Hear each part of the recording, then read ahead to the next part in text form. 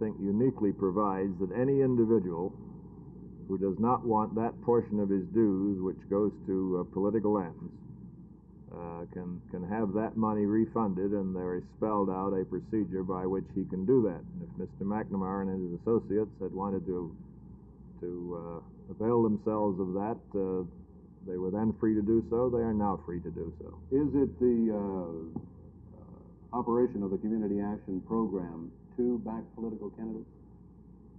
Oh, the community action councils at, at the local level and at the state level uh, do make political endorsements and do, as part of their general activity, uh, become involved in political campaigns, yes. But isn't there an illegality involved when they back the campaign of uh, federal uh, or national candidates? Only if they use dues money for that purpose. But that's where they get their money from. No, no, no. We, we have what we call dollar drives every year. And the purpose of those dollar drives, because that's freely donated money, is to raise what we call free money that can be used in federal campaigns, whether it be for the presidency or for the Senate or for the House of Representatives.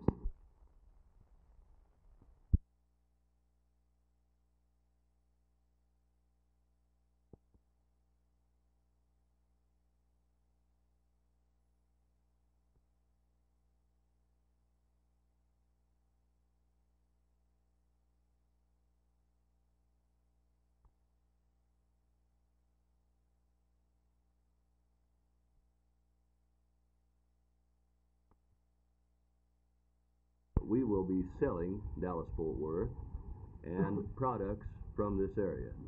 We've uh, we have uh, appointments with a very high level group. We have the Japan Southern U.S. Association, who we will meet with.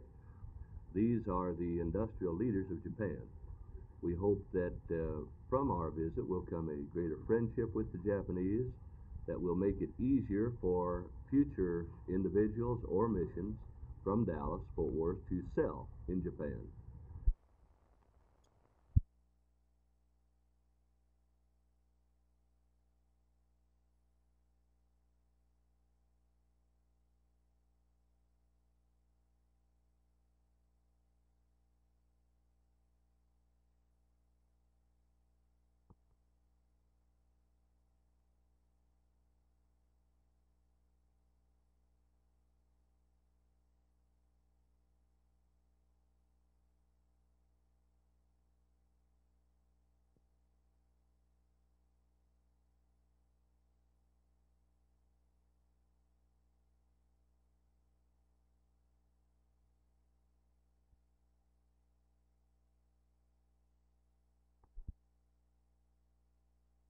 Well, Senator Proxmire has been fighting the SST program very vigorously right along. I'm not competent to judge whether uh, the scientific assertions that uh, there'd be an, up, an uprush in skin cancer are well founded or not. Uh, my concern has been more on the economic uh, end of it. The airlines industry is in great difficulties. It make, that industry is not absorbing the 747. It's going to have difficulty absorbing the DC-10 and the L-1011. And to put on top of that the SST, uh, certain other things get straightened out, did give me as one individual uh, great concern. Does the aerospace arm of the UAW need the SST in order to uh, maintain its stability? There, there are there are some locations that are under contract with the UAW where the continuance of the SST program was of great importance to the members there.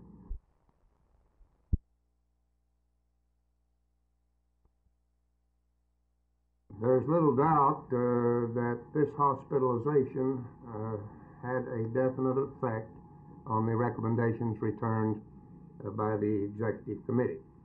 The commission had no knowledge uh, that Mr. Coffey was hospitalized or even ill at the time it uh, issued its initial statement uh, Monday. And while the executive committee yesterday still received the complete report of its general counsel, uh, certainly it gave considerable weight uh, to Mr. Coffey's illness, inability to appear in person, and uh, I'm confident that weight modified the recommendations it returned. El Centro says they're administering student loans, but strangely enough, the College Coordinating Board in Austin says they're not getting any money from the state. I talked by telephone to a board representative in Austin this morning. She told me El Centro students are more than 13% delinquent in repaying those student loans, which are financed by the state. The board says anything over 10% delinquency is automatically cut off. And I also talked to El Centro Dean of Students, Dr. Don Kramer, who says this is not the first time it's happened to Texas colleges. Well, this has happened to us about four or five times. Uh, we don't quite understand uh, why these releases are made the way they are, uh, but uh, I can't explain uh, the delinquency publishing. Is there any action being taken to bring the, bring the list up to date or to, to force the college coordinating board to bring their list up to date and not get you in trouble like this? Well, I understand there's a great deal of concern on the part of uh, uh, other administrators at this college, uh, the uh, state uh, financial aid associations, the other administrators of colleges throughout the state who feel that this entire matter is being um, handled in a way that could stand some improvement, and that um, conversations are being held all the time with the coordinating board and with the legislature. And in fact, apparently the legislature is holding hearings with the coordinating board to discuss what their alternatives are for solving this problem. In the meantime, how does this affect students who need financial aid? Well, it could affect them very seriously. It turns out that so far we've not been able to, or we have been able to make loans to our students, and as far as I know, no one has really suffered because of these uh, kinds of reports. It creates a rather strange public Im- image, however, and every time one of these reports comes out, the students call us in great numbers wanting to know if that means them. And so it, uh, it hits them pretty hard.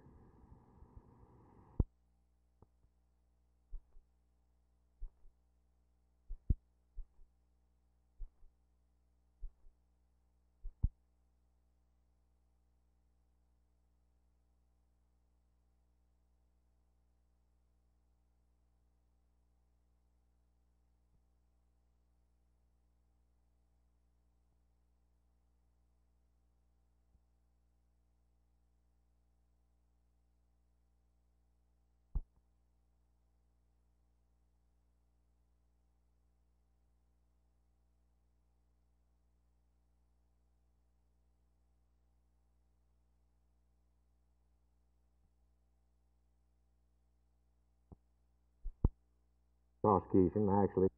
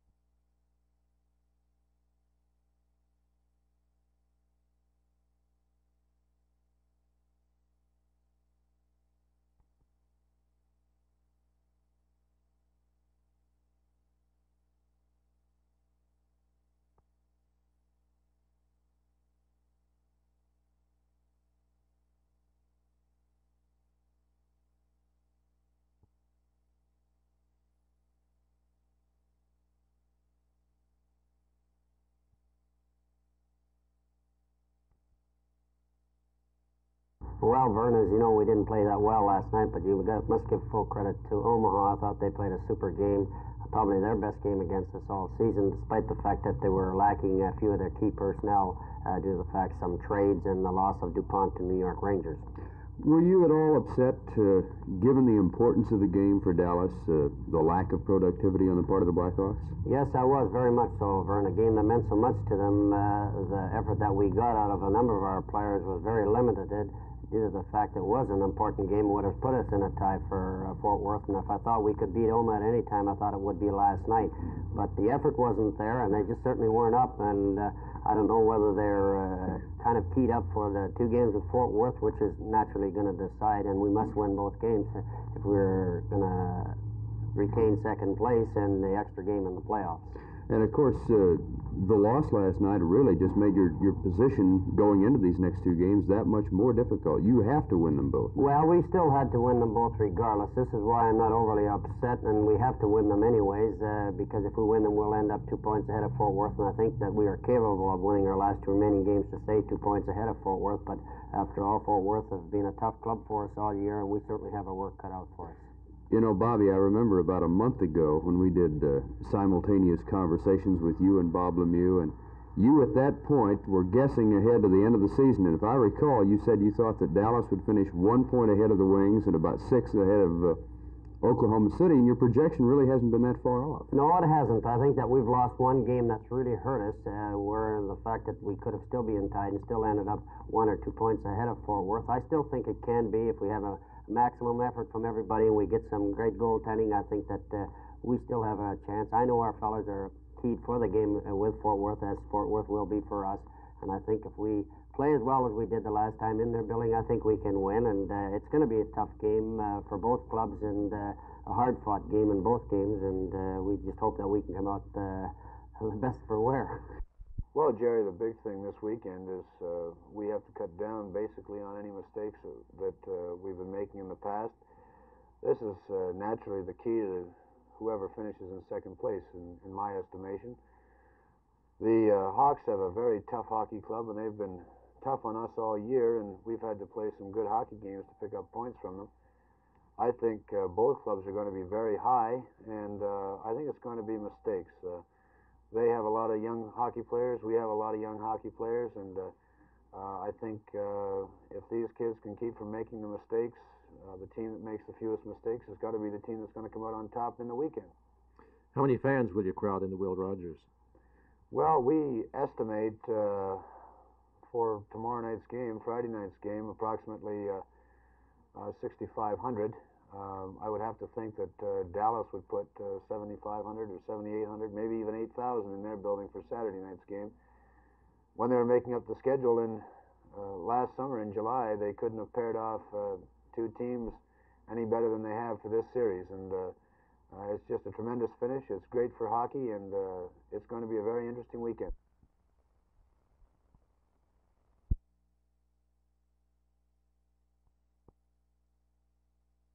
The Journal of Air Law and Commerce Symposium, held today at SMU, addressed itself to the problems of general aviation. General aviation being defined as that segment of flying other than airline and military. One of the topics that arose numerous times during the day concerned aviation insurance. Attorney Tom Davis from Austin addressed himself specifically to that problem.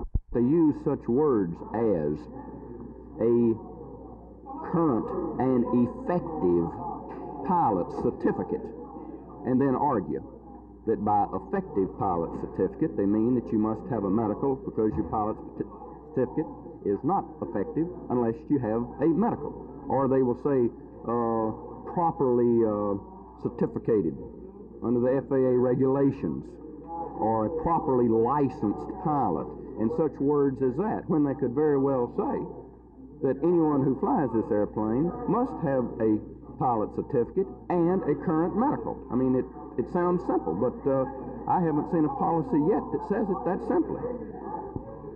It's a matter of recourse here uh, from other people who've ever tried to read an insurance policy. Do you really understand an insurance policy when you read it? I know many people Well, I maybe understand a little more of it than I did, but honestly, there are some provisions in insurance policies that for the life of me, I can't figure out why they're in there, and I rather suspect that the people that uh, write the insurance don't know either. One of the aviation insurance industry spokesmen was Mr. George Whitehead, who is the Vice President of United States Insurance Underwriters Group. Saving lives, we feel, is a twin uh, obligation with uh, compensating people after they are killed. And the exclusions have a very strong safety purpose in the policies. I think they're clear and understandable. And of course, if they are ambiguous, the courts are going to construe them against the insurance company, so they'll be, they would, uh, in those circumstances, would be worthless.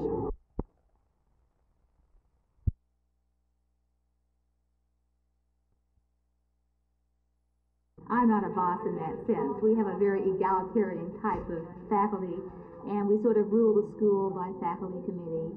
I don't consider them under me. If anything, I am their servant.